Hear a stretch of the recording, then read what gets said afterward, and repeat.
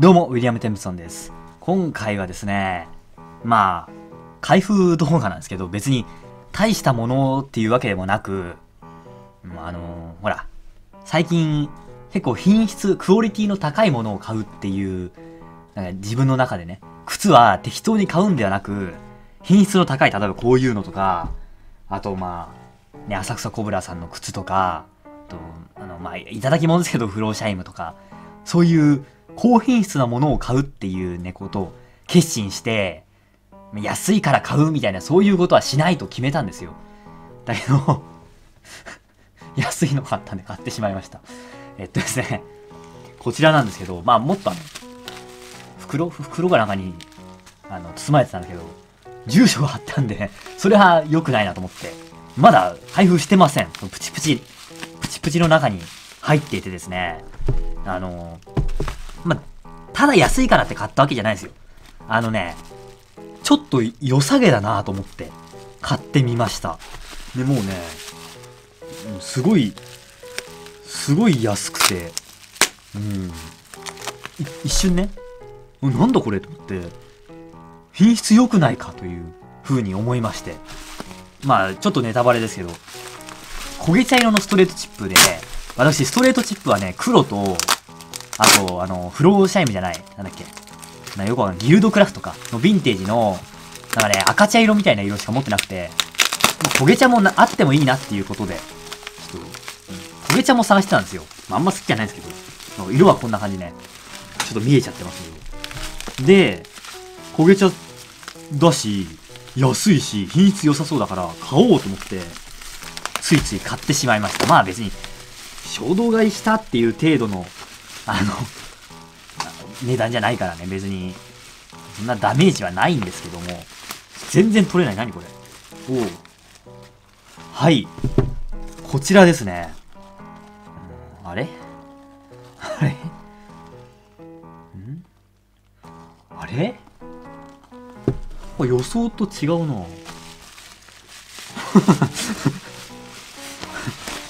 なんか日本製のね、テイジンっていうメンズショップのものらしいんですけど、いやね、最初に見たとき、これちょっと邪魔だな。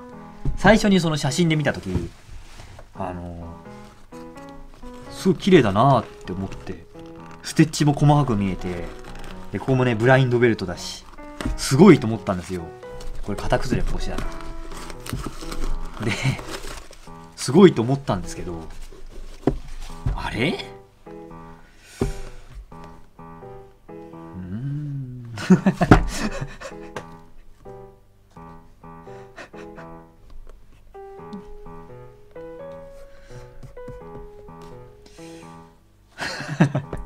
言葉が出ないですね。はあおお、でも、なんでこれ？鳩目が取れてんじゃん、これ。か、金ゼルかと思ったら、鳩目が取れてますよ、ほら。ええー、ひどくない？そんなこと書いてなかった。備品としか書いてなかったんだけどな。ええー。鳩目取れてるわ。皮はなんか、これ顔料でしょ、ただの。いやさ、写真で見たらなんかものすごい綺麗な皮なのかなと思って。そう、そうかと思って期待してたんですけど、別に、ステッチも細かくないし、そんなに。荒くもないけどさ。えー、マジか。いやー、残念だな、なんか、あれ。期待外れですね。えー、ちょっと待って、リブロインで表面の汚れ落としてみましょう。特に今日は何もする予定ではなかったんですけど。えー、どうしようかな。亀裂入って、亀裂っていうか切り傷みたいになってるし、ここほら。なんですっごい茶色い。多分これね、転売ヤーなんですよ。まあわかんないけど、転売ヤーって言うとすっごい低評価つくんで。転売ヤーの方が多分視聴者に多いんだなっていうふうに思ったんですけど、転売ヤーっぽいんで、相当クリームを塗っているんじゃないかなっていうふうに思いますけど、転売ヤーは、言葉がうまいですからねえー、でもなクリーム落としたところで別に質感変わんないもんね。どうす？変わってます？これ。いやー、ちょっと待って、これはどうしよう。どうしましょう。どうしましょう。放置機つけてって感じですね。どうしよう。ええー。いや、もっとね、来たい。開封、本当にこれ、初見なんですよ。あの、やらせとか、そういうんじゃなくて。だから、開けて、うわ、すごい綺麗うわ、革質最高じゃんいや、もう、現代の日本の、これ日本製なんですけど、日本の靴も舐めたもんじゃないですね、みたいな感じのね、なんか、好感度上げようみたいな感じで思ってたんですけど、いつも通りの好感度が下がるタイプの、ちょっと待ってよ。やだよ、女の。好感度上げるとかもうそういうこと言ってないで、もう本当に普通に質のいいものが欲しかったんですよ、こっちは。うわー、なんか実験用にしよっかな。削っちゃおっかな、ヤスリで。前もストレートチップ削ったことあるんですけど。へえ。顔料の靴を削ってみた結果、わらわらわらみたいな。なんか、なんか 2, ちゃんの、今5ちゃんか。だね、そういうののタタイトル？す、なんていうの？スレ、スレタイっていうのあんまよくわかんないけど。ああいうのにありそうな感じ。それがね、YouTuber みたいな感じで。いやー。いや、ショックだな、よ、さ、今日これ帰って家楽しみにねしてたんですけど、帰って開ける動画撮ろっかな、みたいな感じで。だってこれ絶対か、顔料系の皮だもん。さすがに私、皮はそんなに詳しいわけじゃないですけど、いい悪いと、あと顔料、あんまり、あんまり言うと、なんかハードル上がっちゃうからあれですけど、顔料か顔料じゃないかとか、なんとなくわかるからね。まあでもね、日本の靴とか、あとヴィンテージの靴とかね、顔料系の皮多かったりするんですよね。ただ、これね、ヴィンテージじゃない、日本、日本の靴特有なんですよね。ちょっとキャップがでかい。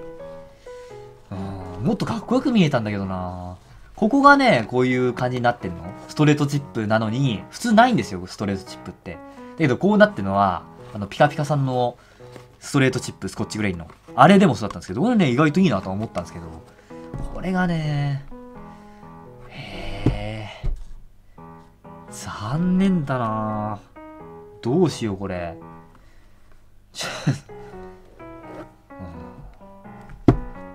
うんいやーねこんなこと言うのもなんですけどね。ねえ、せっかく、せっかく買ったのにとかさ、靴は何も悪くないとかね、言われちゃうと思うんだけどな、ショックだな。ど、ど、まあまあまあ、でも、削って顔料を剥がして、でも今、ちゃんとデリケートクリームは吸ったんでね、一回、一回普通のフルメンテナンスしてみましょうか。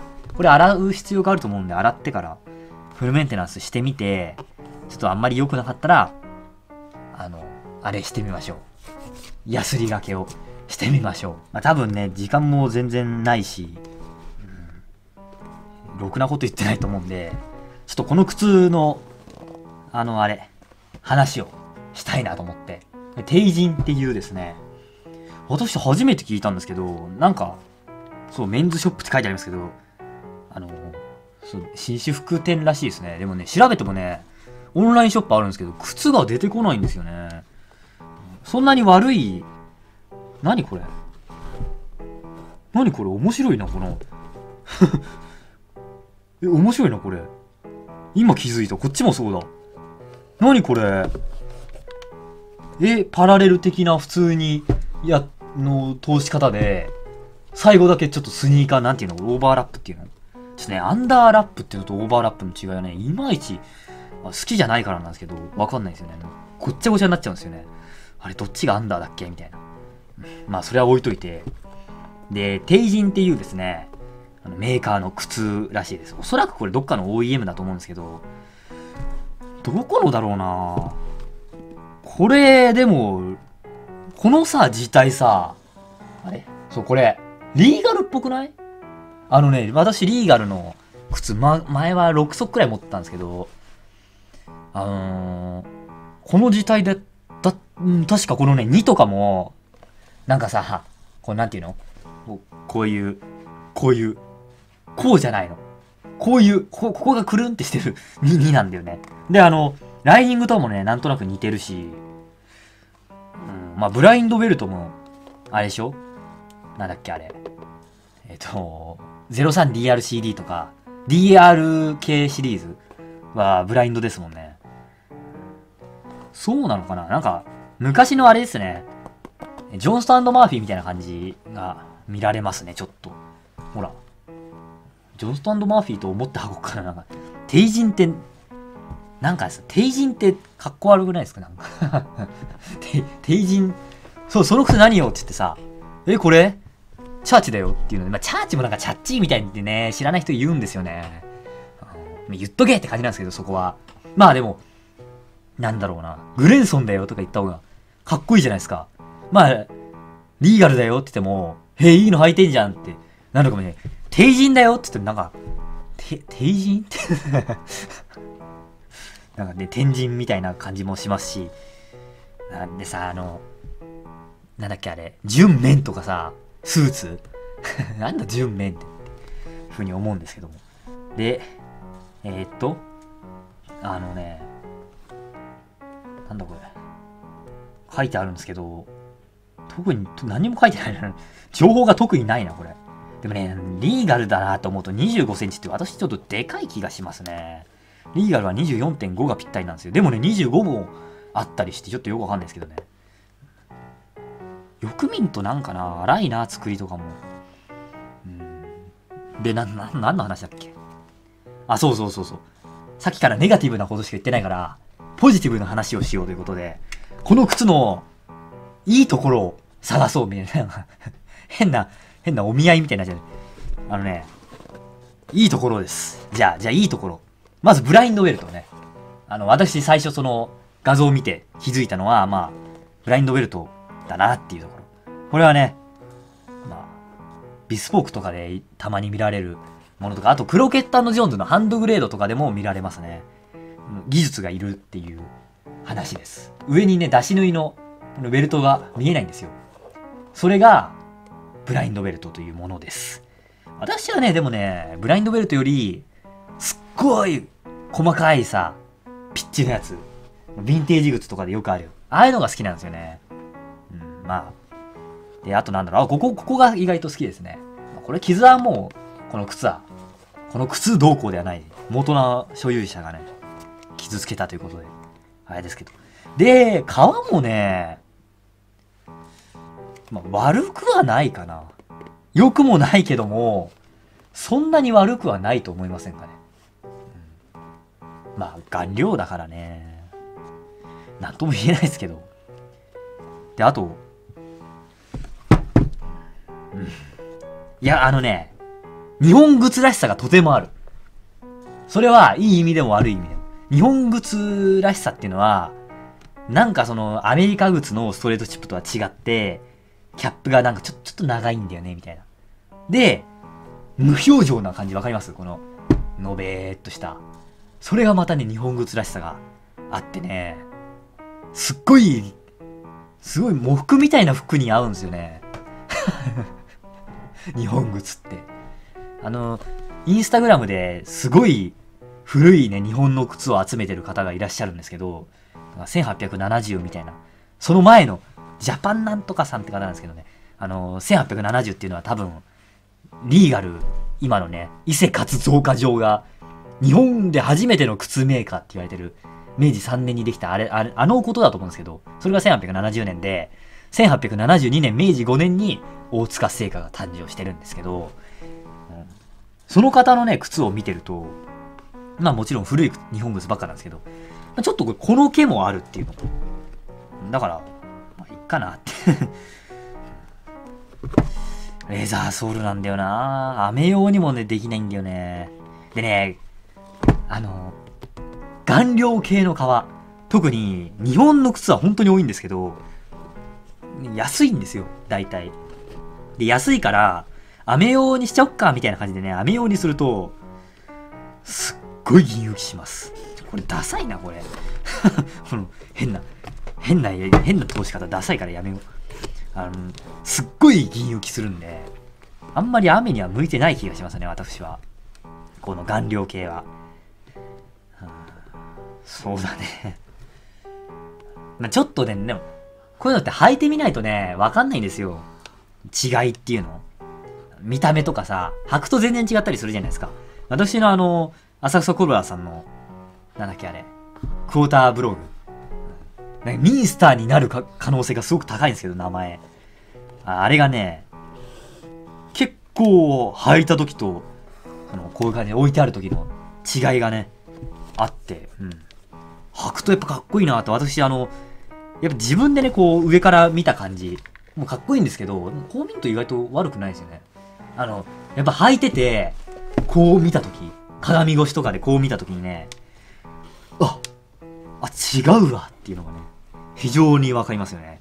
昔ですね、昔、全然昔、1年も経ってないですけど、ジュンタさんとですね、あの、動画の撮影をした時に、まあ、チャーチを私も履いてて、持ってったのかなで、ジュンタさんが、かっこいいですねって言って、あじゃあ履いてみますかっては、はか、履かせたってたのが、あの、まあ、履いて、ね、試着をさせてあげたって言ったらなんか、すごい上から目線ですけど、まあ、そんな感じで,、ね、やったんですよ。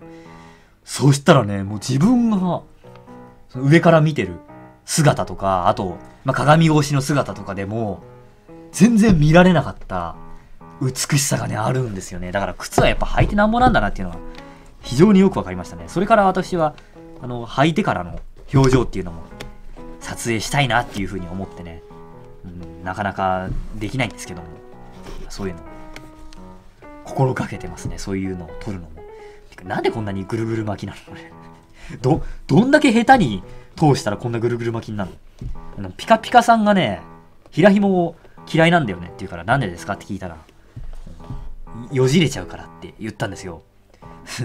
まあ、よじれるけど、デザイン的に、まあ、好き嫌い、それはもう、ね、あるからいいいいとして、よじれるから嫌いだったら、別にデザイン的に問題ないんだったら、ちょっと丁寧に通せばいいんじゃないですかって言ったんですけど、こんなになっちゃうんですかね、もしかして あのピカピカさんの平ひも見たことないから、どんなになっちゃうかわかんないですけど、こんなになっちゃうんだったら確かにやめた方がいいと思いますね、私も。これだってもう無理じゃん、これ。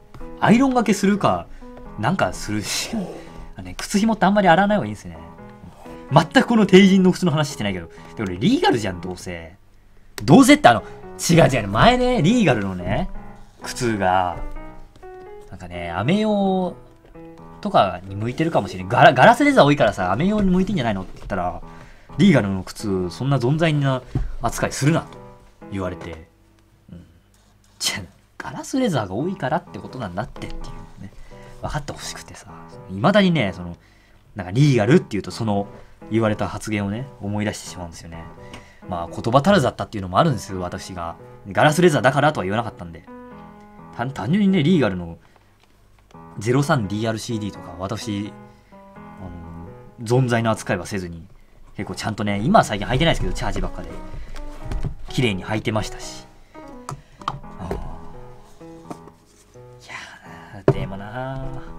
あ、なんだ、ポジティブに言おうって言ったんだ。もう忘れてたよ、ポジティブに言うって。これ、ちょっと、ちょっと、見た目を重視するために、クレームでも塗ってみ、いっか。洗おっか。せっかく紐を通したのに、綺麗に。洗おっか。もう、もういいかな。ということでね、帝人のストレートチップ、多分リーガル製。私、多分リーガルだと思うよ、でもこれ。見たことないこのなんかさ、ライニングの色とか。あのね、2、25、ん ?2589 とか2504。あれらのライニングとかに似てると思います。で、こっちの中の奥の方のライニングはね、W105 とかちょっと高級ラインのものに似てるから、で、ブラインドベルトだし多分高級なんだと思います、結構。リーガルの中でも。だからそんなに荒い作りもないですし、びっくりするほどね。まあだから、まあ、まあいっかなって 安かったし。ちょっとね、サイズでかい気がするんですよね。全長とかはね、合ってるんですけど、まあ全長では決めらんないじゃん、基本的に。私、全長はちょっと気にしますね。22リーガルは24.5で、チャーチは現行が6、で、エドワード・グリーンは6ハーフくらい、クロケットも6ハーフくらいなんですけど、それらはね、だいたい29前後なんですよ。だからヴィンテージシューズとか、あのー、サイズ感全然わかんないから、そういうのでちょっとね、あのー、まあ、おおよその、合うかなーみたいなそういうの、頑張って憶測で買ってますけど、大体合ってるんで。わかんないって人はこの全長を聞けばいいかと思います。まあね、長くなっちゃうんで、今回はこんな感じにしたいと思います。まあ、洗う動画は多分載っけないと思いますけど、そうですね。気が向いたら、フルメンテ動画撮るか、まあ、撮んないかもしんないですけどね はい。ということで、ちょっとよくわかんない感じになってしまいましたけど、今回はね、以上となります。それでは、おまけになるんですけど、あの履いてみました。ね、こんな感じになっててね、まあ、サイズはもうちょうど良かったです。まあ、ハーフ落としてもいいかなってやっぱりね、そんな感じあったんですけど、ちょっと厚い靴下なら平気だなという感じで、履き心地はね、まあ、そんなに足入れしただけなんですけど、そんなに悪くはないと思いますね。で、見た目もちょっとまあ、ヴィンテージっぽい感じなんで、いっかなっていう風に思います。で、洗ってみたんですけど、やっぱ弾きましたね。うん。だからもうが完全に顔料だなっていう風に思います。まあだから、どうなるかわかんないですけど、楽しみにしててください。それでは。